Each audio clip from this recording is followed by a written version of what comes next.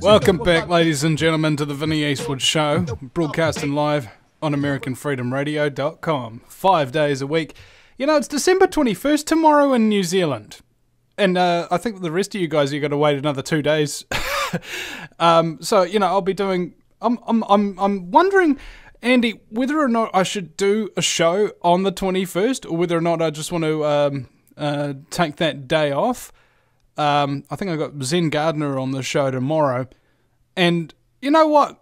I think I probably will because it'll be it'll be fun to actually broadcast live uh, on on December twenty second from New Zealand to the United States when it's December twenty first. The uh, the alleged uh, and total hoax into into the world. Just go, okay, guys. Look, I've seen December twenty first, and it ain't no different from December twentieth.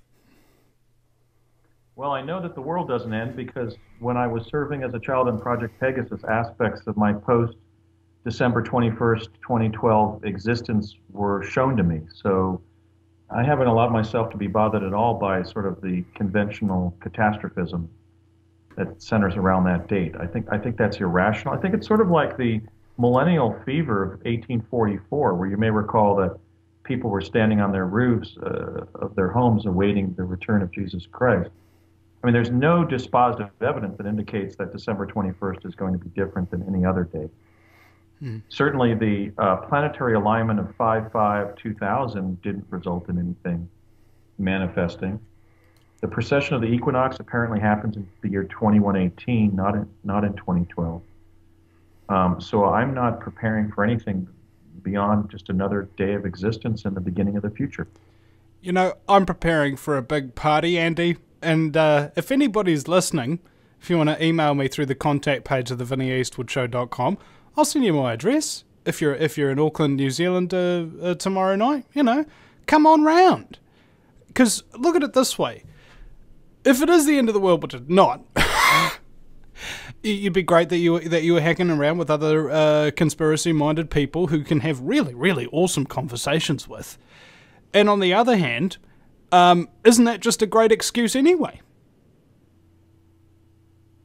You know, people use uh, uh, bad things as an excuse to uh, be afraid, to uh, uh, uh, get prepared, and, and, and, things like that. I see bad times as a time to celebrate what you're about to lose. That's my perspective. Well, there is anyway. a psychological out here.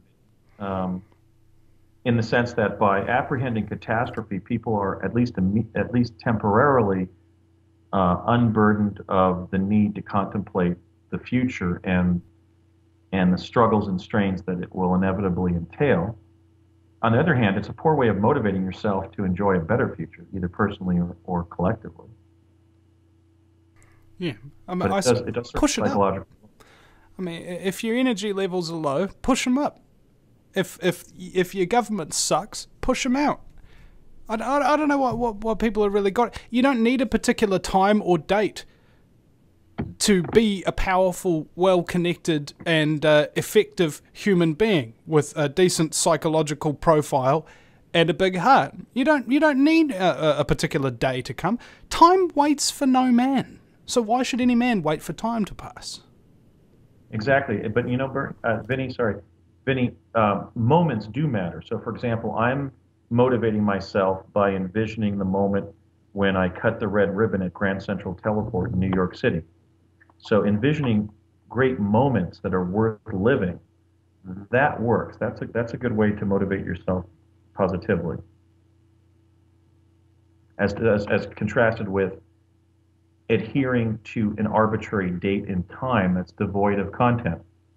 That's not a moment. That's a, that's some end state. Why would why would you apprehend some undesired end state? That, that just doesn't make sense. Okay. Now we have uh, we have Bernie uh, Mendez calling me. I'll just uh, send his uh, info to AFR and uh, see if he wants to uh, ring in and join us. Would you like that, Andy? Sure. I, I just mentioned to Bern, uh, Bernie when we were on here. That's why I actually referenced him that, that I was still on with you because I see that he had contacted me over Skype. So have at it if you'd like. Okay, okay. Well, AFR, if you can um, uh, get that contact info sorted and uh, bring Bernie up, I've sent it right to you. Should be all good. he should be coming up uh, soon enough. Um, now, the other aspect of this is a lot of people they'll, they'll talk about you, Andy, and, and, as if you're the only one um, who, who was part of the project, and they kind of uh, blackball you, you know, do the whole ad hominem argument. You're not the only one who was there. You're not the only one talking about it. I mean, come on. You know, people people don't uh, collectively hallucinate the exact same thing in the exact same period of time. That's correct. In fact, we have six whistleblowers, five of whom were jumpers, one of whom was asked to jump with her children, and we're developing a seventh whistleblower who is a distinguished person.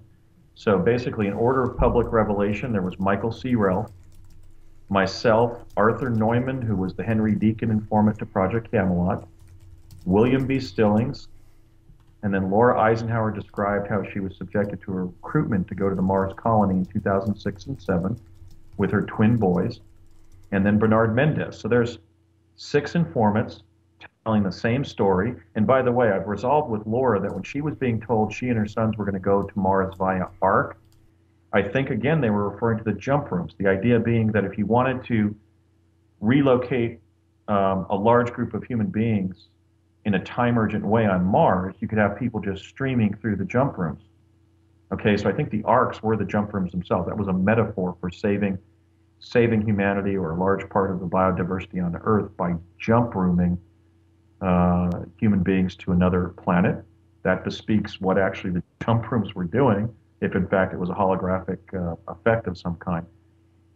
Now, Laura and I are going to be developing a seventh whistleblower. So again, when you have these people who are roughly members of the baby boom generation and the 13thers, uh, and they had a similar set of experiences focused on the same training officers, the same locations.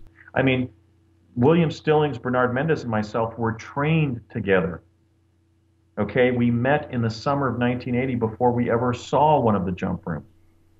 That I think is persuasive. I mean, if you were trying to establish that somebody had served in the military and you were you were capable of finding three testifying witnesses who were in their military unit, that could be used in any court of law in the Anglo-American jurisprudential system of justice throughout the whole world. Okay, so we have three individuals who were trained and on the surface of Mars together we've got Michael's original account, and then we've got Arthur, and uh, and then Laura as a member of a U.S. presidential family coming forward. Look at how infrequently the descendants of U.S. presidents ever even comment on matters of public interest. We've had what? We had Amy Carter opposing apartheid and climbing over the fence at one of the nuclear facilities. But, but, but, but generally speaking, the children, grandchildren, great grandchildren of U.S. presidents have avoided commenting on the affairs of the day because they don't want to be viewed as attempting to claim political currency merely as a result of the genetic accident of having been genetically descended from a U.S. president. So Laura has been exceptional as a member of the Eisenhower family in coming forward and saying, look, these guys are telling the truth because in 2006 and 7, I was asked to go to Mars with my boys to settle there. I mean, why would somebody from a presidential family tell a tale tall? Excuse me, tell a, ta- a, a, a tale that tall. yeah, um, that's a bit of a tongue twister. But why would the, why the would tall tale tongue twisting uh, uh, uh, triangular vernacular? Yeah, right. So why it's late in the year, but Yeah. why would uh, why would Laura be telling a tall tale um, and and risk the the currency or the credibility she would have as an Eisenhower to talk about other matters of public interest? Well, it's, a good it's a good question. And we, we have a caller on the line here. I think it might be Bernie. Is that you, Bernie? Yes, it's me. Can you hear me? Over. Oh, yeah. Roger. How are you, Bernie? Not too bad. Sorry I joined a little late. Been very busy today. Had a lot of legal issues to get by. Yeah, there just is never enough time in the day, is there? I'm out of a job. In case anybody's interested. All right. Well, what have we been um, uh, discussing here um, earlier in the show, Bernie? is um, Andrew has been laying out these uh, these different uh, possibilities about the uh, the chronovisors and the um, the grey aliens and that kind of thing, which was responsible for this um, this Mars jump um, that you guys did, where you had a bit of a repeat experience, like a deja vu, and then you refused to go on the on a following um, jump. I was wondering if, Yeah, if you had anything to uh, to add um, onto onto that uh, gravy train there. Yes, uh, I'm here to support Andrew. Uh, Andrew kind of persuaded me to step forward, and uh, a lot of reservations, losing my job being one of them now. But uh, I think he's doing a really good thing. My website's bernardmendez.com. That particular jump was what they called a loop. We, we were in some kind of loop. There were at least three jumps made, uh, and the same thing, it repeated over and over again. And we don't know who this boy was. Uh, when I, the jump that Brett made ahead of me, they came back, and then uh, I think it was uh, Dames called me over and said, "We have a problem. Uh, someone's back there." I says, "Now," I said, "How many people jumped?" He said, four people jumped and four people came back. And who's left behind? So we don't know. Apparently, it was an incident where some boy got uh, mauled by a creature. So when I made the jump right after that, uh, we didn't we didn't see anything. It was by the ramp. We had built a ramp because the creatures can't go up the ramp, and we were testing the ramp to make sure it was going to be stable. So they had put this corrugated tin on the side of the ramp. So if the ramp started collapsing, we would notice that the corrugated tin would, you know, fall apart on the side of the ramp. So uh, uh, we, we were testing that ramp, and someplace off to the right of that ramp, down in an area on off, to the right of it somehow, where this uh, kid got mauled. Uh, so when I went up there, we didn't see anything, and we had I had walked up the ramp because they, they wanted me to check the ramp when I was up there to make sure it was stable. Uh, but on the way back, when we came back, and we were down at the bottom of the ramp, and we were walking back towards the jump room, is when this boy popped out of nowhere. He turned around and he walked up the ramp, and before I could say anything, because I didn't notice him right away, he was like behind us. He slid down, went into this area, and this whole scenario happened over again, just about the same fashion. Uh, we never identified exactly who he was. So I said, this happened. From, what, from the briefing I got before that, it seemed to have happened exactly the same way. Uh, so what I said, before we go down there and do anything, let's jump back and let's get some more help here and find out what the hell's going on because he wasn't part of our group that we as we jumped there. So when I went back, uh, you know, I told the per- personnel that were there, I said, the same thing happened. This boy slid down the side of the uh, ramp and he got mauled by one of these creatures. He's running around in a particular manner, a manner we were trained to run in like semicircles because the creatures couldn't turn around very easily. And uh, uh, apparently he got mauled uh, again. And I said, I don't know what's going on. I said, who is this person that's up there? So the amount of people that jumped with me and jumped back were the same. So this additional person, whoever he was, and I never have been able to identify who he was. And this thing happened again. So, and then from there, I, uh, we were all standing around discussing all this. And I said, well, this happened to you, this happened to you. And there were names being dropped as to who this person was, but this person wasn't in the, wasn't in the program. So I really didn't know what to do. Um, so I think I left the area at that time, but I think another jump was made after that. And I think the same thing happened again. Now, uh, when I came back, and because I, I went over and, and I was talking to someone else, I had a procedure I had to follow. And when I came back, and we, everyone was sitting around mulling around trying to figure out what the hell was going on, uh, another jump was made, and apparently the same identical thing happened again. I said, make sure you count the people that leave and the people that come back. You know who left and who came back. The exact number of people who left came back. And apparently it happened again. Andrew, what do you think?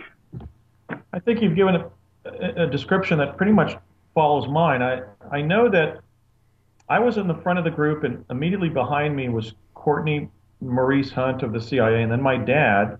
And I was keeping a close eye on my dad because of his cardiac and pulmonary issues. And then I know you were toward the back of our original or sort of authentic cadre, Wasn't Brett on that jump as well? I kind of remember Brett being there, but maybe I've superimposed that because Brett was rather youthful and, and similar in nature to the blonde boy who then appeared. But there was also that woman who who was sort of a Christer. I mean, she was always sort of dropping Jesus' name in every other sentence. And now, was she a member of our group? Because I didn't recognize her. Wasn't she another sort of holographic augmentation of our original our original uh, cadre that was on that sortie on, on the surface? Uh, that woman was a person, and I, I, had reservations before we made the jump. I said, uh, they were sitting over having coffee, and I said, uh, let's go get briefed about the last few jumps and where we're going. I knew where we were going anyway. But I said, let's get, I always have the procedure, we're going to have brief and debrief. And then we'll, we'll talk about the jumps, any problems, you know, anything that we uh, worry about. And then she was sitting there at the table, says, we're going to sit here and we're going to pray. I said, you know, this is not our procedure. Ahead. Hey, Bernie, we're coming to break here. Um, did you want to hang on um, over the over the break, or are you, you all good, mate? Uh, I'll I'll hang here. All right, we'll be right back, ladies and gentlemen. Uh, Bernard Mendez and Andrew Basiago. Back, ladies and gentlemen. Final segment here on the Vinny Eastwood Show, the fastest two hours in talk radio. It's the lighter side of genocide because in a world so full of chaos and madness, if you lose your sense of humour, you'll go friggin' nuts. It's for freaking sure, mate. And uh, we have Bernard Mendez, UFOQA.com, and I, I believe also uh, BernardMendez.com, and Andrew Basiago from Project Pegasus.net. Gentlemen, welcome back. I don't know where we're going to go with this. We've got one final segment, and uh, when each of you starts speaking, it tends to take up two hours. So, what what exactly can we squeeze in that's of uh, great importance to either of you? I think it's significant, Vinny, that we've got three individuals living in different parts of the country. I mean, I live in Washington State where I practice law. Um, Brett um, is an inventor and computer specialist residing in Southern California. And Bernard Mendez lives in New York City. That we're from different backgrounds, but we're adhering to our, our claim that we worked together in, in this secret defense project 30 years ago and that we're now in communication and have become not just colleagues but friends now. And um, we're standing by each other's accounts because the people have a right to know the different forms of space exploration that the United States government has conducted, and they include different forays in time space embodied in different time travel technologies. And this was a project that was undertaken in furtherance of the NASA Act. You know, the original enabling legislation for the U.S. Space Agency in 1958 stated that the primary goal of the space agency was the expansion of human knowledge of space and the near Earth environment. Well, this is exactly what this was. We were either going to the actual Mars holographically, or we were accessing a synthetic quantum environment that must have been in space rather than under or on the surface of the ground uh, of the Earth in, in, terms of the SQE concept, because we were in frequently in the jump room for 20 minutes. Um, and you know, I really am grateful to Bernard and William for coming forward because I was really out uh, on my own in terms of talking about Project Pegasus because when I was serving as a child in Project Pegasus, most of the people that I was interacting with were mid-career professionals, roughly 45 to 65 years of age, including some of the Manhattan Project physicists. Well, so almost all of the adult participants in Project Pegasus are, are either deceased or very elderly. But in the case of the jump room program, which was 10 years later in the early 80s, we have three adults who not only served together, but were trained together. And we remain in solidarity over the fact that the program existed and that it involved a time travel technology and that we were part of it. So I think it's a story that's not going to go away when you also factor in that during the entire time that Barack Obama has been president and there's been this sort of superficial controversy about whether he was born in Kenya or Hawaii, the truth of this particular man is that he was a participant in a secret space program project that took he and us off planet. And I think that's part of the history of our time that needs to be told. And look, now that President Obama has been reelected, I'm going to continue to speak as openly and truthfully and as often as I can to link him to the program, not really to focus on him, because after all, he was just another jumper who went on to an illustrious uh, career, as, as a number of us did. Um, so it wasn't all about Barack Obama, but the fact that he served in, in, in the secret space program is part of the history of the U.S. presidency and the times that we're living in. And so the story is simply not going to go away. Bernie, anything to add? Um, I I believe that I didn't. First of all, when Andrew first talked to me, and Andrew was the only one talking to me, but at least five or six other people had talked to me, and I requested access to the uh, information, which had been some of it's been declassified and then reworked and reclassified. Uh, you know, I had reservations about it all, but I didn't ever believe in my lifetime because I was told never to talk about it that these matters would ever come to light. And apparently, there's more and more witnesses in the wings. Even George Knapp is uh, uh, uh, starting to get suspicious that maybe there's something really to this. Even our critics are, are being silenced. Um, this is a, a, a, very big affair. Should it continually continue at this pace to prove out, which uh, someday it will. I know that for a fact. In my lifetime? That's another story. But uh, I don't know if you want to continue with the different jumps and what had happened, or you just want to continue with talking about the project in general. Which would you prefer? You know, um, for me, there's there's also a, a philosophical aspect to this because it's it's not just a a, a technical thing uh, that was being done uh, during these experiments. Have have you guys learned any kind of uh, lessons about maybe life or the, the nature of uh, reality itself um, that are, that are really quite profound by this experience? You want to go first, Andrew, or should I go yeah, first? Well, you know, we were brainwashed after our training in the summer of '80, and then before our last jump in 1984. So one of the things, one of the philosophical dimensions of this kind of experience perhaps one of just the cognitive things, let me start there, is that when you have a life experience that is singular or very, very stressful, even traumatic, and the trauma is reinforced by the kind of brainwashing that was available, let's say, from the Reagan years forward, which was already going on 20 years after MK Ultra ended.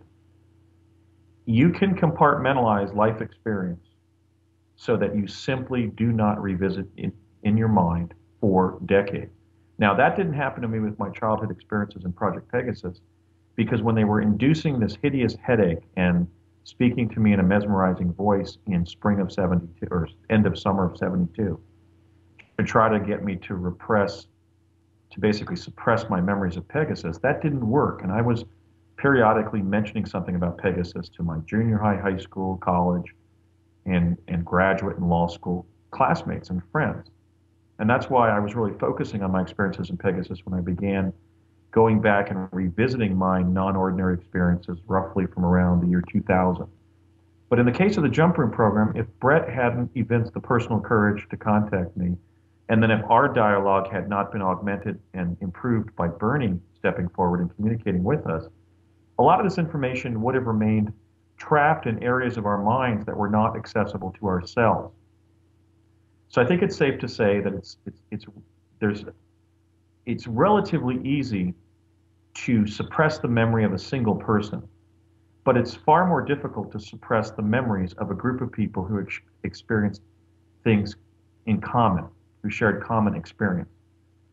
And and so because memory is so fickle and so ineffective, since memory is so imperfect, I think that in society in general, but certainly in the the counterculture, if you will, the, the cultural creative demographic where we explore these kind of issues, we have to exercise what I'm basically describing simply as the principle of tolerance.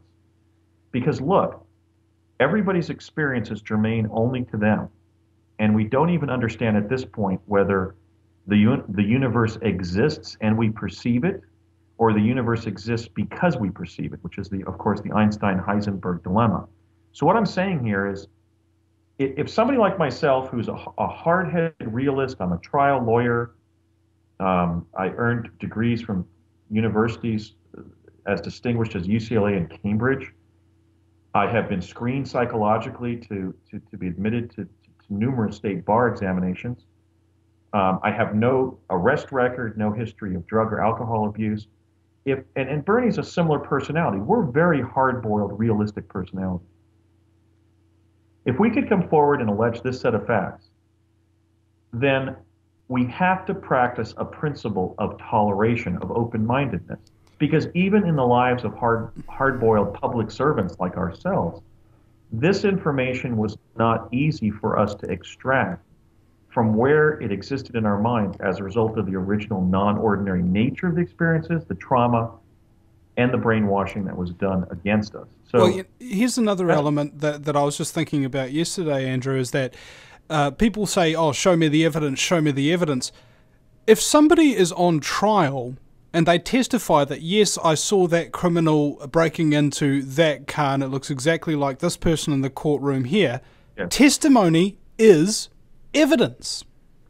Well, actually, to, to amplify or clarify, individuals are free to testify directly in live testimony as or or uh, in, in, a written form, subject to an attestation of their oath that they're telling the truth. But witnesses can testify in direct, in live testimony as to what they, what they did or what they saw, and that is direct evidence. In fact, probably at least 50% of the evidence that's used to convict people of crimes is such live testimony embodying direct evidence of some witness or participant.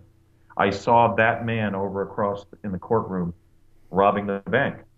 Um, yes, so for example, and, and that knocks down the frequent phony or fallacious argument that when you're alleging non-ordinary facts, you're engaging in hearsay. I mean, hearsay is an out-of-court statement offered to prove the truth of the matter asserted. It's a statement of a statement that's been made. It's not direct testimony of that which was perceived. That's sort of.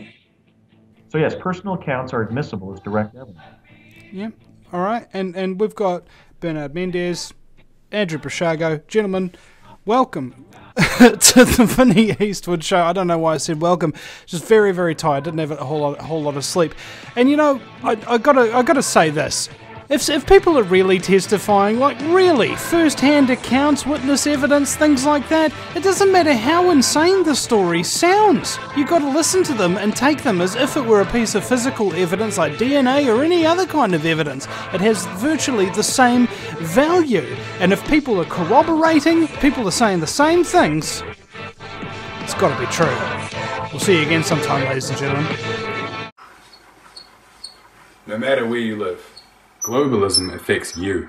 Did you know that the Vinny Eastwood Show has more subscribers than New Zealand Herald TV and is New Zealand's most popular YouTube news channel where warm-hearted humour and a list of awesome guests talk about crucial issues which the mainstream media ignore. A show where you, the listener, can phone up with questions, comments and suggestions of guests. Vinny is building a hub to connect truthers with raw information they need to become active.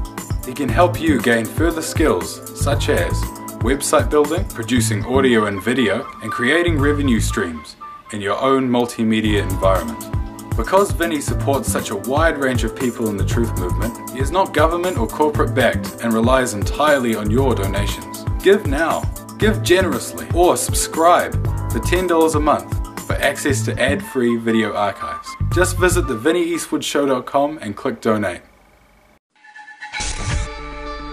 If you take an active interest in maintaining the optimum health and well-being of yourself and your family, the New Zealand Journal of Natural Medicine is the magazine you've been waiting for. Having taken Australia and New Zealand by storm, the New Zealand Journal of Natural Medicine is now available in the UK and Europe. Visit www.nznaturalmed.co.uk or call 01626 337 531 to order your copy now.